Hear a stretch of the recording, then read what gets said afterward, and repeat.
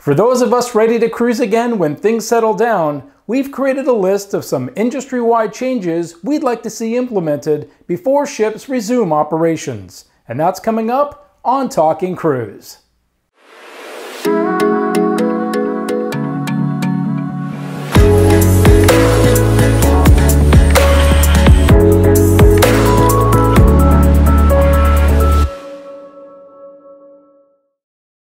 Hi, I'm Chris Cardona. There's no doubt that the current situation across the globe has had a major impact on people, daily routines, and many industries.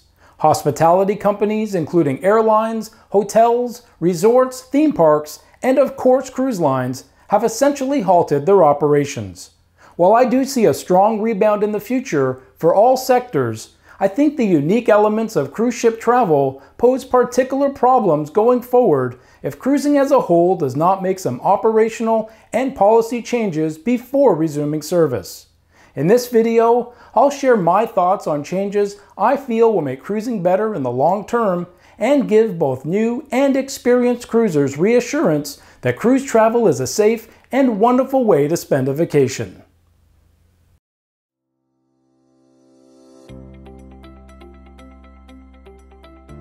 When COVID 19 first started impacting cruises, many cruise lines relaxed their cancellation policies to allow guests to cancel within a day or two of departure. While most guests would normally be in a 100% penalty window, this temporary measure provided guests with a future cruise credit. Even though these programs were meant to be for a limited time, I believe the idea should be continued for the foreseeable future. The main reason would be to reduce the number of people that are willing to travel when they are unwell, simply because they don't want to lose all their money. I can't tell you the number of times I've been on cruises with people that were obviously sick, and I know I've heard many say that they were going on their cruise no matter what.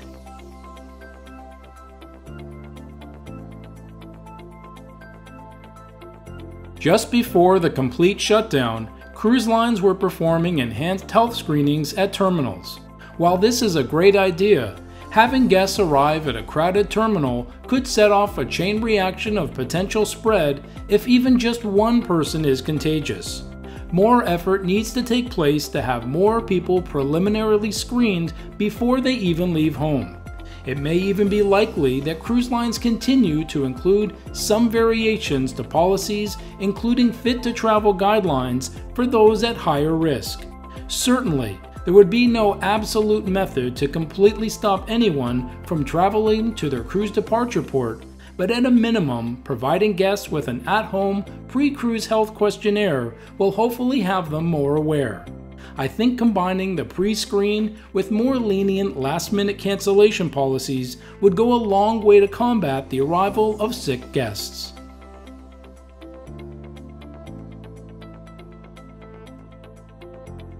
Continuing on the idea of keeping guests safe when they arrive at their port of embarkation, staggering the arrival, check in, and boarding process can serve two purposes.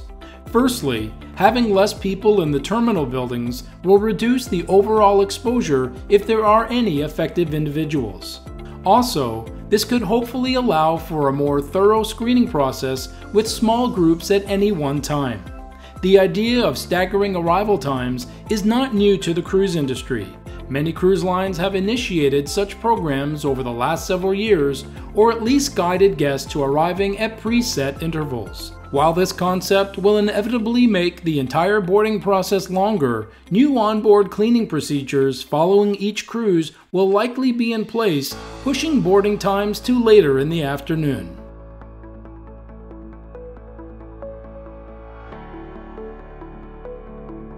While I have always marveled at how much cleaning occurs on cruise ships, especially during turnaround days, a much more stringent approach will be necessary in the future. Aside from making things look shiny and new, rigorous disinfecting protocols need to be put in place with regular frequency. Such efforts to make public spaces, staterooms, and especially large gathering areas like dining rooms and entertainment venues safer for guests will keep the spread of not only coronavirus but many other illnesses in check. Aside from what the cruise lines do to mitigate the spread of illness, each guest must do their part as well.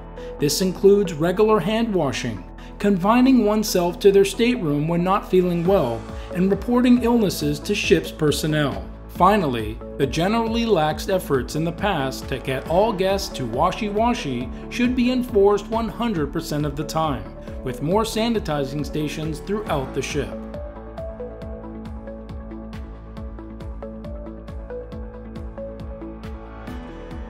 I know it's always been easy to walk into a cruise ship buffet, grab a plate, and help yourself to whatever you want. Truth is, while you certainly washed your hands before grabbing that spoonful of eggs, you might not be able to say the same for that man, woman, or child who came before you. With new ships offering more and more dining options, it's not just the buffet either. Have you seen what the self serve ice cream stations look like on a busy sea day? Going forward, cruise lines should have staff ready to serve you whatever you want. This will be one of the easier changes to implement, and while it might take longer to get that second or third piece of chicken, it will be a better way to control who touches utensils and handles food and serving dishes in general. Thanks for watching. I hope at least some of these changes and perhaps others are considered before ships return to service. Don't forget to like this video, post your comments and questions, and subscribe for more Talking Cruise.